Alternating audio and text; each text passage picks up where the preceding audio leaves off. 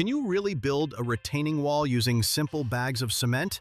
Yes, but only if you know exactly what you're doing.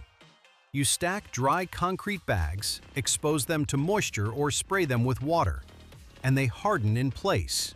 No formwork, no reinforcement, and quick to install. Ideal for small slopes, rural areas, or emergency situations. But be careful.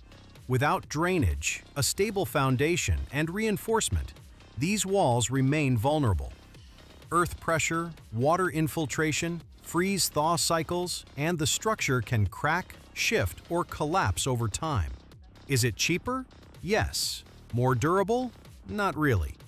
It's a backup solution, temporary or to be reinforced, sometimes even topped with a gabion for added strength and aesthetics. A hardened sack is not a calculated wall, nor meant to bear heavy loads.